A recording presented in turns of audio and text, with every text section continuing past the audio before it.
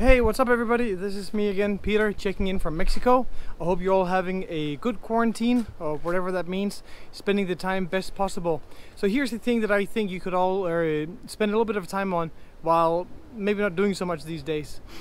Your backpack. When was the last time you checked that you have everything you need for the rides that you do on your bike? So lately, I've been riding with my friends here in Mexico and we've been taking turns in dragging each other home from the mountains. So the thing I've been using the most has been the rope and the rope is really important but a lot of other things are also really important in the backpack and it turns out that my backpack is far from what it used to be when I worked in Romaniacs or Minas Riders in Brazil on these big hard enduro events where I needed to ride day out and day in.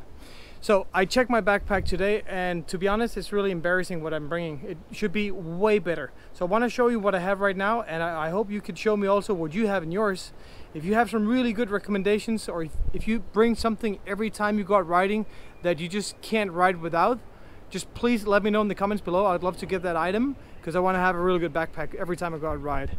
So first of all, I want to show you my uh, my mount, which I'm really happy with. It's a plastic mount from J-Mount, and this is my Beta 350.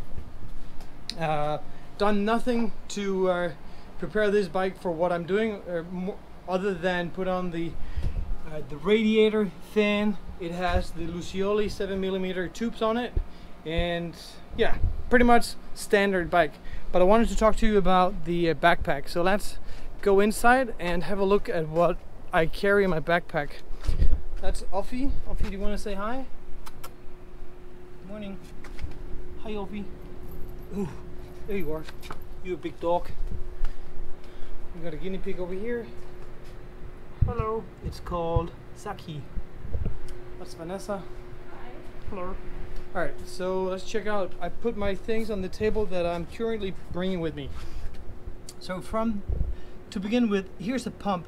It actually doesn't fit the tubes that I have, so I just put it there to, yeah, kind of show you that I, I know I need it.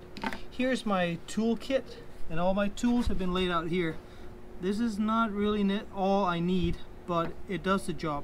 This is just the basic kind of a multi-tool that fits all the the uh, tops 8, 6, 10 and some some other stuff. Here's a basic mountain bike tool. It actually does a really good job.